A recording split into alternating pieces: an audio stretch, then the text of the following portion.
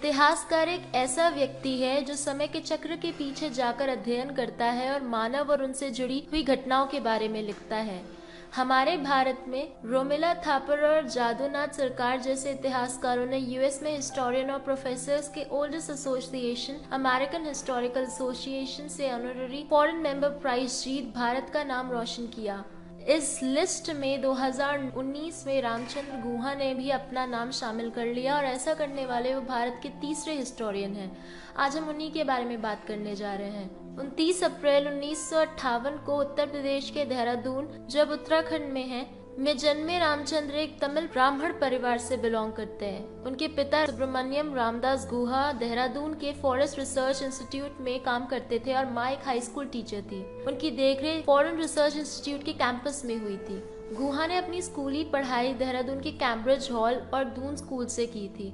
लिखने का शौक उन्हें बचपन से ही था। स्कूली दिनों में वो school newspaper the Doon school weekly के लिए लिखते थे और हिस्ट्री टाइम्स नामक एक पब्लिकेशन में अमिताभ घोष के साथ काम भी करते थे।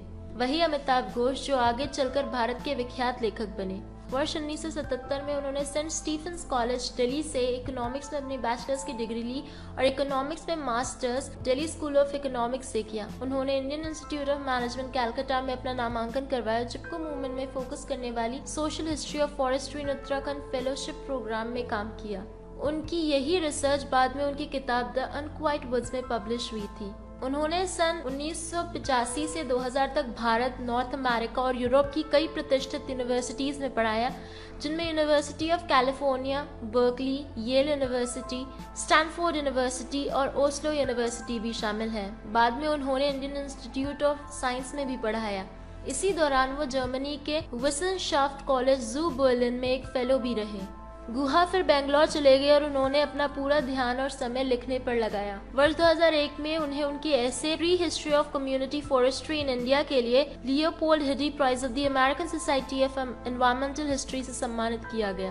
वर्ष 2002 के गुजरात के दंगों के ऊपर निर्धारित किताब, Gujarat The Making of a Tragedy में उन्होंने the V H P needs to hear the condemnation of the Hindu middle ground शीर्षक का एक अध्याय लिखा था। ये किताब 2002 में पब्लिश हुई थी। 2003 में वो इंडियन इंस्टीट्यूट ऑफ़ साइंस में ह्यूमैनिटीज के विजिटिंग प्रोफेसर रहे। वर्ष 2007 में उन्होंने अपनी नामी किताब इंडिया आफ्टर गांधी पब्लिश की थी। इस किताब का ट्रांसलेशन हिंदी में दो वॉल्यूम्स में, तमिल और बंगाली में भी किया गया है। इस किताब के लिए उन्हें साहित्य अकादमी अवार्ड से सम्मानित किया गया था। 2011 से 12 तक वो लंदन स्कूल ऑफ़ इकोनॉमिक्स के Philippe Roman Chair of International Affairs in History रहे। वो द टेलीग्राफ हिंदुस्तान टाइम्स और द इंडियन एक्सप्रेस जैसे न्यूज़पेपर्स और Economics and Political Weekly Outlook Seminar और द करावान जैसे मैगजीन्स के लिए लिखते हैं। 2013 में उन्होंने महात्मा गांधी की बायोग्राफी का पहला part Gandhi before India publish किया। 2018 में Gandhi the years that change the world लिखकर उन्होंने हिस्ट्री ऑफ़ मॉडर्न इंडिया की तीन वॉल्यूम्स को पूरा किया।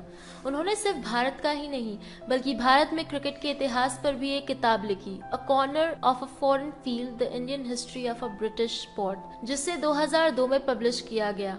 उन्हें इसके लिए The Daily Telegraph Cricket Society Book of the Year Prize for 2002 से सम्मानित किया गया था। क्रिकेट पे आ ही गए तो आपको बता दें कि जुलाई 2017 में उन्होंने Board of Control for Cricket in India BCCI administration committee की कुर्सी पर्सनल रीजन की वजह से छोड़ दी थी।